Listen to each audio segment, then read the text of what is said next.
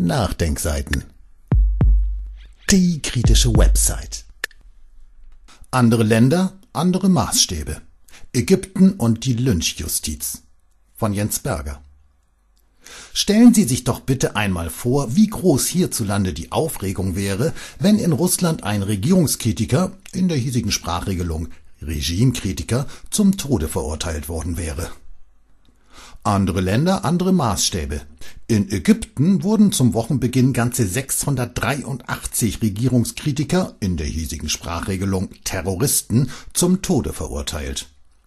Von Aufregung ist hierzulande jedoch nichts zu spüren. In den Medien wird dieser brutale Akt vom Staatsterrorismus allenfalls beiläufig vermeldet, und die Politik verfällt einmal mehr, wenn es um Ägypten geht, in ein bleiernes Schweigen. Stattdessen drischt man lieber mit gesammelter Kraft auf Altkanzler Schröder ein, der die Unverfrorenheit besitzt, mit dem russischen Präsidenten zu sprechen. Halten wir uns die Situation in Ägypten doch einmal abseits der allgegenwärtigen ideologischen Umdeutung vor Augen.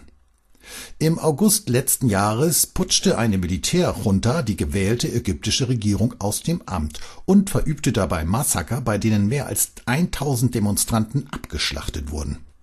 Seitdem sind weitere 1400 Regierungskritiker von den Sicherheitskräften getötet worden und tausende weitere sitzen in Haft.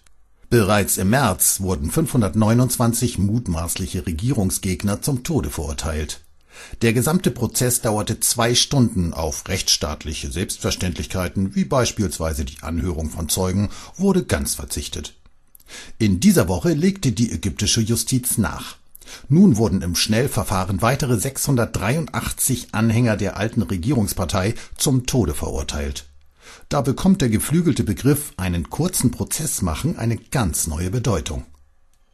Was soll eigentlich noch passieren, bis der Westen, der sich ansonsten so demokratiefreundlich gibt und sein Hohelied auf die Menschenrechte predigt, zu Sanktionen greift? Setzt man die ideologische Brille auf, sieht die Lage jedoch klarer aus.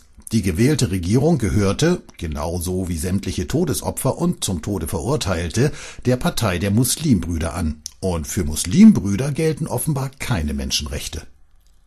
Die ansonsten eher als liberal geltende NZZ ringt sich in einem Kommentar sogar dazu durch, dass man anlässlich der Todesurteile, Zitat, nicht von einem undemokratischen Vorgehen sprechen könne, da die Urteile schließlich von der Mehrheit des Volkes getragen werden. Zitat Ende.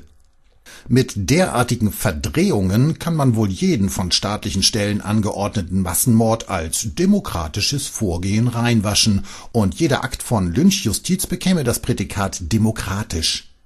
In einer solchen Demokratie möchte ich jedoch nicht leben